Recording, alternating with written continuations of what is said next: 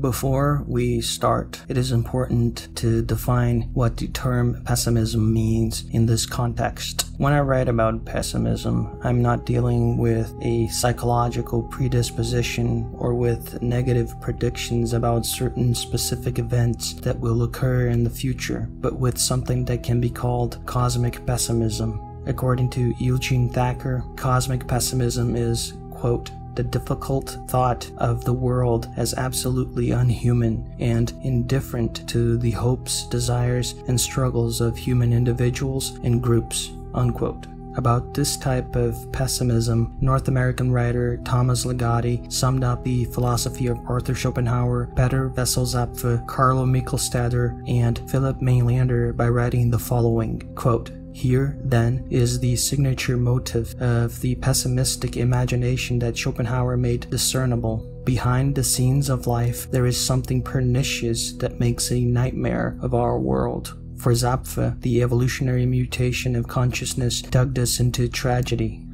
For Michelstaedter, individuals can exist only as unrealities that are made as they are made and that cannot make themselves otherwise because their hands are forced by the god of self-love to accept positive illusions about themselves or not accept themselves at all.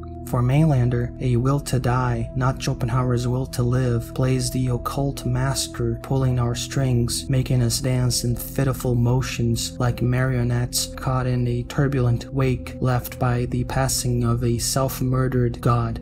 Unquote. Joshua Foa Dienstag, professor of political science at the University of California in Los Angeles, wrote the following about Schopenhauer's and Freud's metaphysical pessimism. Quote, Human beings inhabit a universe that they would be justified in calling malevolent if it could be shown to have an author, which, to them, it does not. Unquote. In the same book, Dienstag deals with what he calls existential pessimism, identifying it with Albert Camus, Emil Cioran, and Miguel de Unamuno. In the specific case of Unamuno and Cioran, he correctly states that these thinkers treated consciousness as a disease, an error of nature. Dienstag does not work with the thought of Norwegian philosopher Peter Zapffe, but Zapffe's thought was similar to Cioran's. To him, human consciousness is a kind of mistake nature made along the way, a sort of detrimental evolutionary adaptation. Our deep consciousness gave us an immense power due to instrumental reason, but it also made us search for meaning in something that is fundamentally meaningless. It is worth noting that of the three existential pessimists Dienstags work with, Cioran is the only one whose response to the absurdity of existence is a rejectionist, the nihilist ethic, which, in the manner of Schopenhauer's ethical prescriptions, aims to flee from the world, and, in the manner similar to Zapffe's ethics, is contrary to the perpetuation of the species. And now we can enter the subject of antinatalism proper. Antinatalism, according to Ken Coates, quote, is the belief that to create a new life is to subject someone unnecessarily and without their consent to lives many sufferings including death. This belief and its underlying philosophy is known as antinatalism. There has been a recent resurgence of this philosophy, with David Benatar's book Better Never to Have Been as a major catalyst Antinatalism can be seen as part of a larger philosophy, described here as rejectionism, which finds existence, directly or indirectly, i.e., as procreation, deeply problematic and unacceptable. Unquote. In fact, Benatar's writings made him a focal point of this philosophy in the 21st century. We can grossly sum up his arguments in the following way. There is an asymmetry between positive and negative states in life that is so crucial that it would have been better if we never existed in the first place. Consider person X. In scenario A, X exists. In A, it is good when X experiences positive states, but bad when he experiences negative states. In the same way, it is bad if X in A stops experiencing positive states, and good if X stops experiencing negative states. This is the normal scenario that occurs in the lives of sentient beings that already exist, like us.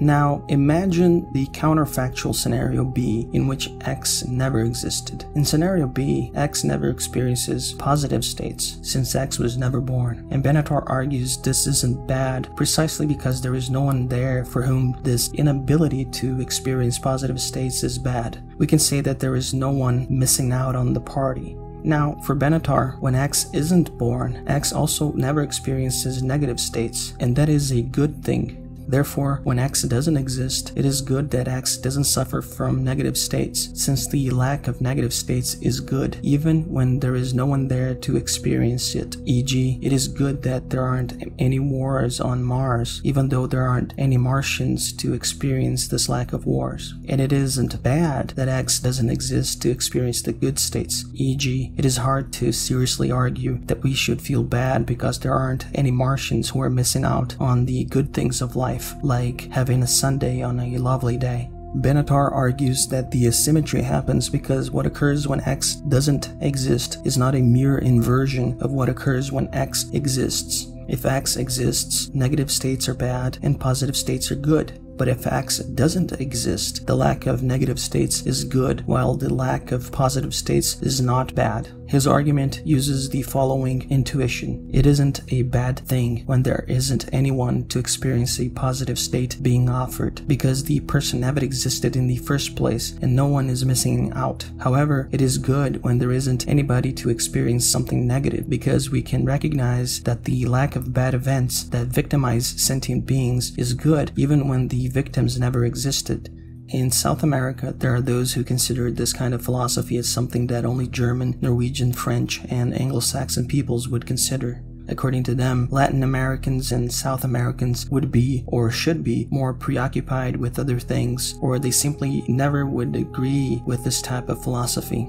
But this is not the case. Argentinian philosopher Julio Cabrera, a retired professor from the University of Brasilia, has been writing from a philosophical pessimist and antinatalist point of view for decades. In fact, he has been writing on the subject of antinatalism since before Benatar's publications. And long before Cabrera, we had Machado de Assis, a Brazilian novelist and short story writer who was heavily influenced by Schopenhauer and ended up leaving some of the greatest pieces of literature in the world. And they are considered great precisely because of his pessimistic views, which also had antinatalist leanings. Let's look at certain crucial passages from two of Assis's novels. Spoiler alert for those who never read them. Quote, I should like to speak here of the end of Quincas Borba, who also fell ill, whined ceaselessly, ran off unhinged of his master, and was found dead on the street one morning three days later. But on seeing the death of the dog told in a separate chapter, it is possible that you will ask me whether it is he or his late namesake who gives the book its title, and why one instead of the other. A question pregnant with questions that would take us far along.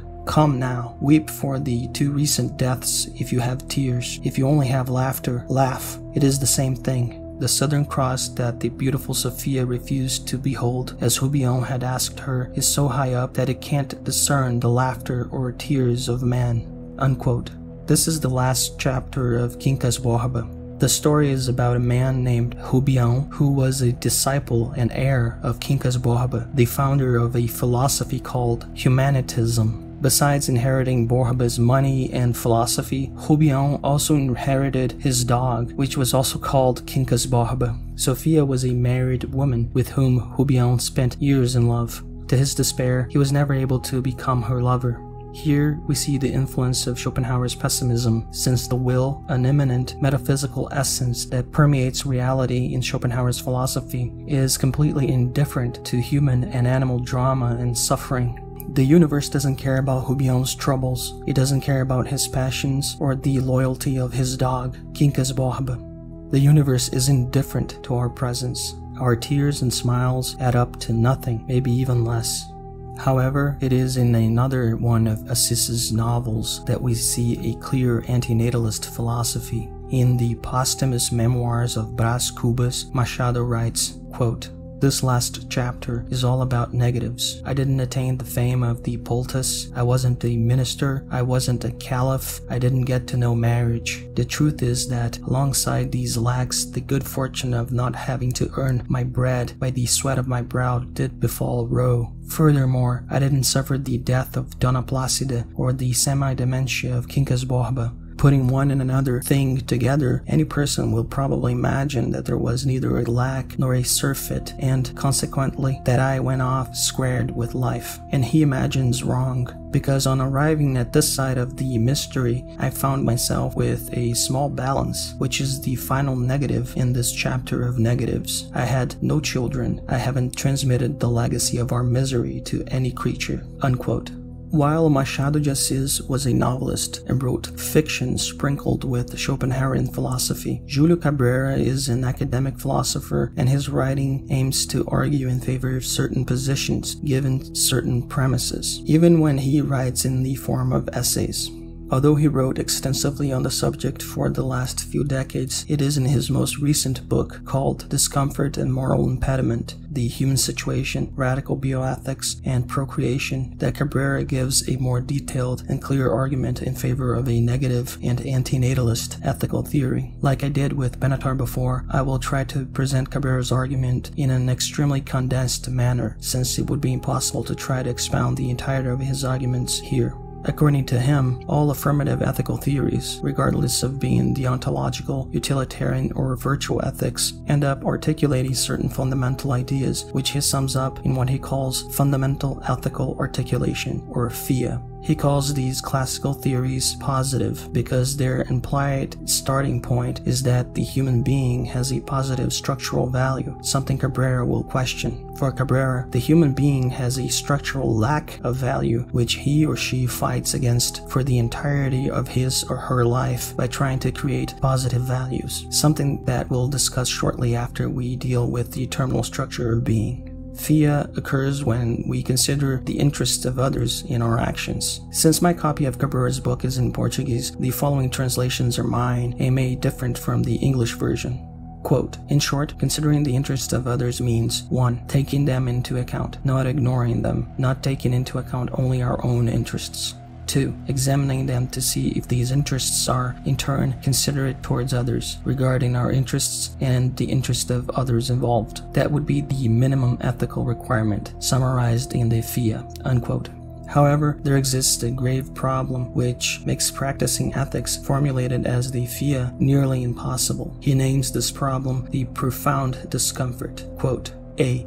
At birth, human beings are endowed with a kind of decreasing being, a being that starts to end as soon as it emerges, and whose final end can occur at any moment.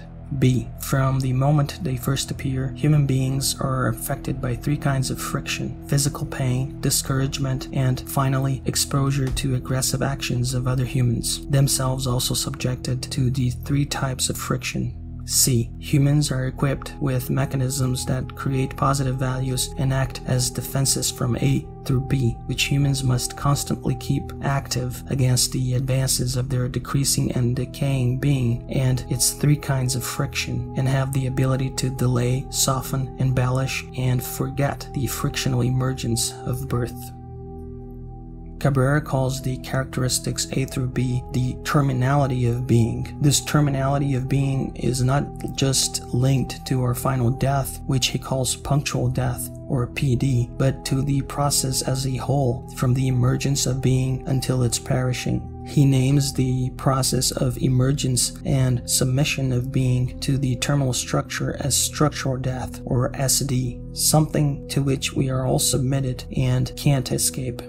Even if we were capable of inventing a way to live forever as humans, given the characteristics described in the triple friction and the constant creation of positive values, which always end up denying the values of others, even when we don't intend to, we would still be submitted to structural death. According to him, quote, the terminal structure of being, the original lack of value of human life as profound discomfort, the always reactive character of our positive values in relation to the terminal structure and the presence of suffering in its triple structural manifestation, pain, discouragement, and especially moral impediment, unquote, requires from us a different kind of normative ethic than hedonism, eudaimonism, deontological, utilitarian, etc., since all of these positive ethical theories end up disappointing the FIA at some point. Examples when a hedonist seeks to build positive values via pleasurable experiences, more than likely he or she ends up affecting others negatively, regardless of his or her intentions. When a eudaimonist seeks to be virtuous, he or she ends up ignoring or harming others in their terminality, whether wanting it or not. The deontologist might cause harm to other morally impeded beings.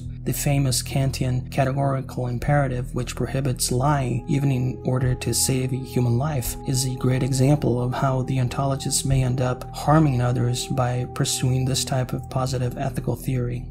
Therefore, positive ethics are not capable of maintaining the FIA. Sooner or later, they will fail. When striving for a good life, the eudaimonist ends up stepping on someone's toes. While fulfilling a moral duty, the deontologists end up causing harm to someone. In his search for maximizing well being or minimizing discomfort, the utilitarian ends up making choices that will also cause someone to be harmed in some way, whether or not he or she wants it. This moral impediment makes Cabrera think of a negative ethic, an ethic which makes the FIA absolute above life itself, contrary to Nietzsche, for example, who proposed making life an absolute parameter that is above all other things, even ethics.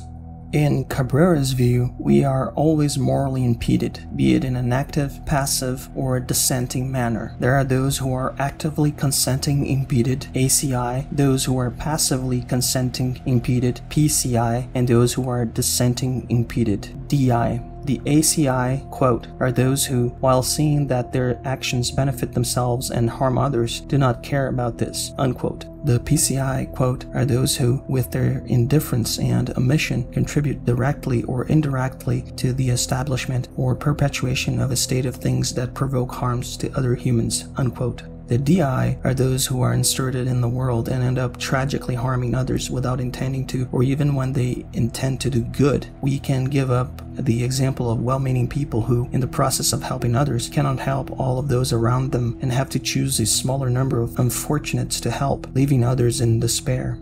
Throughout the book, Cabrera elaborates a series of negative imperatives that seek a maximum adherence to the FIA. However, there is only one safe way to avoid falling into the terminal structure of being and becoming exposed to the profound discomfort of life, never existing in the first place. And this is only possible in the strict sense when we abstain from creating new sentient beings, which means the avoidance of suffering is never possible for those who already exist, but only to those who potentially could exist but are never created. This is where antinatalism comes in play in Julio Cabrera's philosophy, starting from a pessimist view of reality, which includes the triple terminality of being, the profound discomfort. He proposes that we act in a way that preserves the FIA as much as possible, and the best way to do this is to abstain from reproduction. Those who are already alive should observe the negative imperatives that seek to minimize harm to other moral impeded creatures, but we should always have in mind that it is an impossible task, and we are still morally impeded even when we minimize our actions as much as possible. In conclusion, it is worth noting that in his book, Cabrera deals with the problem caused by the naturalistic fallacy. However, he argues that this problem is not an impediment to the formulation of any ethical theory, be it positive or negative. In fact, not even David Hume and G.E. Moore, who argued for the naturalistic fallacy as a problem facing most ethical theories, agreed with the hypothesis that we can't formulate an ethical theory because we can't deduce an ought from an is. They went ahead and did it anyway. Cabrera completely agrees that we can never derive an ought from an is. In fact, Benatar also agrees with this, but that doesn't stop him from formulating his negative ethics. His answer to the naturalistic fallacy is divided in two parts. First, at no moment does Cabrera intend to logically deduce an ought from an empirical observation of the world. That is, he doesn't try to deduce an ought from an is. He does not deduce his negative ethics from observing the terminal structure of being like we would deduce the conclusion in a syllogism. According to him, the derivation does not occur only through the use of logic, but through a pathic, from the Greek word pathos, suffering, passion, affection, and an existential process. All of us experience the profound discomfort that exists as the triple manifestations of structural suffering. From this experience, we can consider the arguments that we should avoid discomfort and suffering from propagating further. E.g., we all know that burnt skin causes suffering, and using this knowledge, we can derive the idea that burning others is not something good. We can derive this not by using pure logic, but through a pathic and existential process of recognition. Second, Cabrera states that his negative ethics, in fact, all normative ethics, including positive ones, gives a fundamental role to human choice. The point of ethics is not to deduce a cold conclusion that can only be stated in one formulaic manner, but to argue that certain ways of acting are moral and others are not. Therefore, in any normative ethics, be it positive or negative, we have the establishment of what is right and what is wrong, and it is up to the moral agent to decide whether or not he or she will act in a right or wrong way, be it because the agent recognizes what is wrong and doesn't care, or be it because the agent doesn't recognize ethics as a whole.